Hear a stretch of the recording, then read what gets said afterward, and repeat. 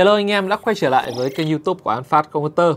Để tận dụng được hiệu năng của dòng CPU thế hệ thứ 12 tính tới thời điểm hiện tại, thì tất nhiên các bạn sẽ phải sử dụng những bo máy chủ Z690 mà mình đang có đây một phiên bản sample của ASRock, ASRock Riptide. Đây là dòng bom chủ nằm giữa Pro 4 và Steel Legend. Về mặt thiết kế thì Z690 Riptide khá là đơn giản theo form là ATX với đầy đủ những hệ thống heatsink lớn để tản nhiệt. Hiệu quả thực tế khi sử dụng là rất tốt khi mà nhiệt độ cao nhất mình đo được là 74 độ C trong môi trường là nhiệt độ phòng 26 độ và sử dụng band table. Thiết kế của mạch VRM là khá tốt theo dạng là 12 cộng 1 chip điều khiển điện áp có khả năng cung cấp điện là rất tốt. Tất nhiên thì chúng ta sẽ cần phải sử dụng những cái bộ cấp nguồn công suất thực này, sử dụng cổng cấp nguồn 8 pin và 4 pin thì khi đấy các bạn mới có thể gánh tốt được những mẫu CPU như Intel Core i9 12900K. Và nếu như bạn nào muốn quan tâm hơn một chút về cái hệ thống điện của em này cung cấp như nào thì link của bài viết mình sẽ để ngay dưới phần mô tả để các bạn có thể xem được.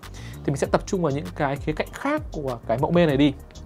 Đầu tiên thì mình sẽ nói về vấn đề BIOS thì thiết lập có sẵn ở trong BIOS thì ASRock vẫn giữ nguyên truyền thống khi mà menu cơ bản rất tối giản và dễ dùng dành những người dùng nào mới tiếp cận. Một điều lưu ý đó chính là khi các bạn can thiệp sơn một chút vào trong BIOS, các bạn muốn tối ưu lại hệ thống thì các bạn phải chọn thiết lập sao cho phù hợp nhất vì mỗi một hệ thống khác nhau thì main sẽ cho ra những cái thiết lập về điện áp khác nhau và ngay bây giờ thì mình test luôn cho các bạn. Đầu tiên đó chính là với phần mềm Cinebench R23 với mức thiết lập là base của Intel, đó chính là mức TDP lốc luôn ở 125W thì điểm số đạt được là hơn 21.000 điểm. Tất nhiên thì mình sẽ không thể nào dừng lại đấy được. Mình sẽ quyết định mở giới hạn ra là 180W thì sự khác biệt bây giờ đã rõ ràng khi mà CPU có nhiều điện hơn để hoạt động. Khi mà số điểm đa nhân đạt được là gần 27.000 điểm, và nhiệt độ tỏa ra là khoảng 80 độ C, vẫn là mức nhiệt khá là ổn khi so với một phần mềm ờ, gọi là test nặng như Cinebench R23. Tất nhiên thì mình sẽ không thể dừng lại được và mình sẽ tiếp tục mở giới hạn ra là 240W và 280W. Lúc này thì điểm số chắc chắn sẽ cao hơn so với 180W khoảng 2% là khoảng 27.000 điểm, loanh quanh từ 27 đến 28.000 điểm. Xung nhịp cũng đã được cải thiện hơn. Tuy nhiên thì Cinebench R23 cũng chỉ đốt tới khoảng là 200W điện mà thôi thì chuyển sang một phần mềm khác đi, cho nó khác biệt một chút, đó chính là Blender. Thì mình sẽ thả luôn cho CPU ăn điện và mình sẽ không lốc lại bất kỳ một yếu tố nào. Thì khi benchmark thì cái mức điện năng tiêu thụ trung bình của CPU cao nhất là khoảng 190W và duy trì là 180W và xung nhịp của tất cả các nhân đều ổn định. Nếu như bạn quan tâm rằng khi chúng ta chơi game thì CPU sẽ tiêu thụ bao nhiêu điện thì rất tiếc, đó chính là các cái mẫu CPU của Intel khi mà các bạn sử dụng phần mềm, đó chính là MSI Afterburner, thì khi chơi game và hiện các thông số thì tạm thời sẽ không hiện được cái thông số liên quan đến điện áp nhưng không sao. Mình sẽ sử dụng benchmark bằng Final Fantasy 15 để các bạn có thể dễ hình dung hơn. Thực tế thì CPU sẽ tiêu thụ khoảng dưới 100W điện do hầu hết tất cả các tựa game đều không thể tận dụng được hết những gì mà mẫu CPU như Intel Core i9 12900K có thể mang lại. Thế nên các bạn không cần phải lo lắng quá nhiều rằng khi chơi game liệu hệ thống nguồn các bạn có cung cấp đủ điện cho CPU hay là không, hay hệ thống tản nhiệt có bị quá tải hay là không. Và mình sẽ trả lời câu hỏi cho các việc là tại sao CPU Intel Core i9 12900K có người bảo rằng đây là một mẫu CPU nóng, nhưng có những người bảo rằng nó không hề nóng. Có những người nói rằng là CPU này ăn chỉ khoảng 200W điện mà thôi, nhưng có người bảo là CPU này phải ăn 300W điện. Thì lý do tại sao? Thì mình sẽ trả lời luôn. Đó chính là về cách test cũng như là về cách nhận định vấn đề. Đối bên mình quá trình test sẽ dựa vào nhu cầu thực tế khi sử dụng và chính xác những gì mà một mẫu CPU đó có thể mang lại thực tế nhá, thì cái việc mà các bạn test ở trên mạng ấy, các bạn xem qua bạn không để ý kỹ là họ đã trích điện một cách vô tội vạ và sử dụng Prom 95 stress test và bật luôn cả VX khiến cho CPU bị quá nhiệt và điện áp bị tăng cao quá mức rồi sau đó họ quy rằng đây là một con CPU nóng. Thì đấy không phải là một cách test chuẩn dành cho một người dùng thông thường. Thì với các nhu cầu sử dụng những cái tập lệnh như là AVX thì sẽ hiệu quả nhất đối với những hệ thống HPC hệ thống HPC là High Performance Computing. Trong khi những người sử dụng thông thường giống như mình các bạn những cái game tủ hay những người livestream thì đại đa số họ sử dụng những cái gọi là hệ thống giải mã của H264, H265, Handbrake, Blender, các bộ công cụ của Adobe hay cụ thể hơn là tất cả các tựa game thì đều rất khó để tận, tận dụng được hết hiệu năng mà AVX mang lại. Thế nên việc đưa AVX vào trong phần stress test để khiến cho CPU nóng hơn và ăn điện nhiều hơn thì có lẽ đối với mình là hơi đi xa rời so với thực tế bởi vì cái lượng điện năng dư thừa sẽ chuyển đổi hết thành nhiệt năng và điều đó sẽ gây áp lực lên tất cả những hệ thống tản nhiệt kể cả đấy có là những hệ thống tản nhiệt cực kỳ xịn test là phải gắn liền với thực tế. Và giống như các bạn phơ mắc một con cào đồ họa vậy. Các bạn phơ mắc 80 độ C, nhưng khi chơi game, các bạn chơi mãi thì cũng rất khó để có thể chạm được cái ngưỡng đấy. Và CPU cũng trong tình trạng tương tự khi mà test sai cách. Và việc stress test CPU hết mức không phải sai nhé mình không phủ nhận cái vấn đề này.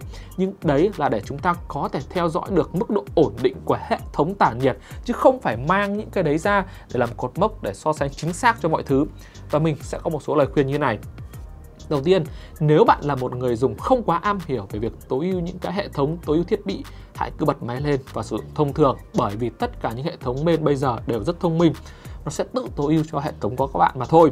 Và điều thứ hai, nếu như bạn nào biết bọc vạch BIOS một chút này, muốn tối ưu hệ thống lại thì mình sẽ khuyến cáo một mức điện áp tốt nhất dành cho CPU Intel Core i9 12900K để có thể hoạt động ổn định mà không nóng nhưng vẫn đủ điện áp để có thể hoạt động nặng, đó chính là mức 240W. Tất nhiên thì các bạn đã nghe nhiều đến cái yếu tố đó chính là Silicon Lottery này. Có những mẫu CPU gọi là ăn tranh lệch nhau, cũng ăn ít điện, có mẫu CPU ăn nhiều điện. Nhưng bây giờ thì câu chuyện đấy đã khác đi một chút rồi, tức là hầu hết tất cả những mẫu CPU Intel theo coi 9 mình đã động vào và có test thử thì đều có thể hoạt động ổn định ở mức 241W thế nên mình mới đưa ra những lời khuyên để dành cho các bạn. Thì dùng thực tế còn lâu các bạn mới có thể đạt được giống như mấy ông stress test gọi là hết tầm. Các bạn dùng bình thường nó chỉ ăn khoảng loanh quanh 200W mà thôi, rất khó để thể lên hết.